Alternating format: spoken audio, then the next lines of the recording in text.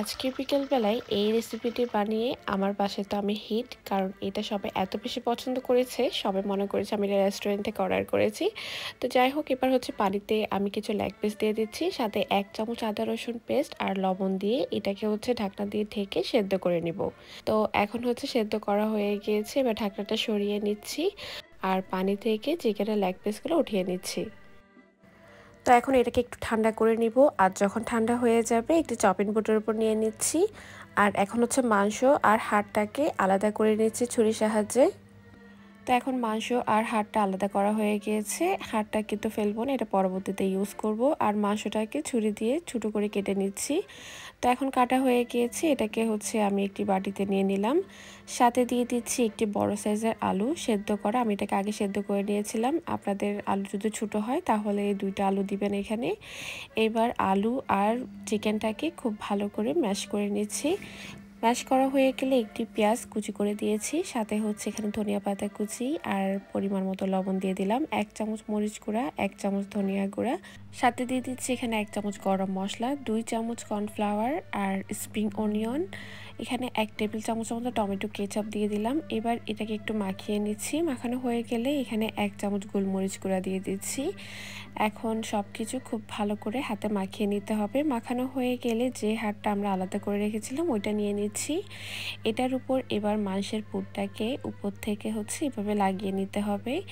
এভাবে লাগালে দেখতে যেমন সুন্দর লাগে, খেতেও কিন্তু অনেক ভালো লাগে। তো আমি যেভাবে হাতে চেপে লাগিয়ে নিচ্ছি, আপনারা ঠিক এভাবেই হচ্ছে মাংসের পুরটা হাড়ের সাথে লাগিয়ে নেবেন। তো এখন আমি আরেকটি বানিয়ে দেখিয়ে দিচ্ছি যাতে হচ্ছে আপনাদের বুঝতে সুবিধা হয়। এভাবে এখানে হচ্ছে চিকেন পোরটা নিয়ে হাড়ের সাথে এভাবে হচ্ছে চেপে লাগিয়ে নিতে হবে। তো সব কয়টি আমি সেমভাবে এখন বানিয়ে নিয়েছি। এবার হচ্ছে আমি একটি প্লেটে এখানে এক কাপ ময়দা অল্প করে লবণ আর গোলমরিচ নিয়ে নিয়েছি। আর এটাকে হচ্ছে খুব ভালো করে মিক্স করে নিচ্ছি। মিক্স করে হচ্ছে আমি এটাকে এক পাশে রেখে দিব। এবার আরেকটি বাটিতে আমি এখানে একটি ডিম আর অল্প করে লবণ দিয়ে ডিমটাকে খুব ভালো করে ফেটিয়ে নিচ্ছি। তো এখন ডিমটাও ফেটানো হয়ে গিয়েছে। ডিমটাকে এক পাশে রেখে দিচ্ছি। এবার আমরা হচ্ছে যেই চিকেনটা মেক করেছিলাম, ওখানে ওইটা নিয়ে ফার্স্টে হচ্ছে ময়দাতে খুব ভালো করে কোট করে নিয়েছি। ময়দাটা লাগিয়ে এবার ময়দাটা একটু ঝেড়ে নিব আর দিয়ে দিচ্ছি হচ্ছে ডিমের মিশ্রণে। ডিমটা খুব ভালো করে লাগিয়ে এবার হচ্ছে আমি এখানে ব্রেড ক্রামস নিয়ে নিয়েছি আর ব্রেড ক্রামস লাগিয়ে নিব। তো ফার্স্টে হচ্ছে ময়দাতে ময়দা লাগিয়ে নেবেন। ময়দাটা হচ্ছে ঝেড়ে তারপর ডিমে এটাকে চুবিয়ে আবার হচ্ছে ব্রেড কাপস লাগিয়ে নেবেন। তো সেমভাবে আমি সব কয়টি বানিয়ে নিব। এবার হচ্ছে আমি এখানে তেল গরম করে নিয়েছিলাম আর গরম তেলে এই চিকেনগুলো হচ্ছে ভেজে নিচ্ছি। ভাজার সময় খেয়াল রাখতে হবে।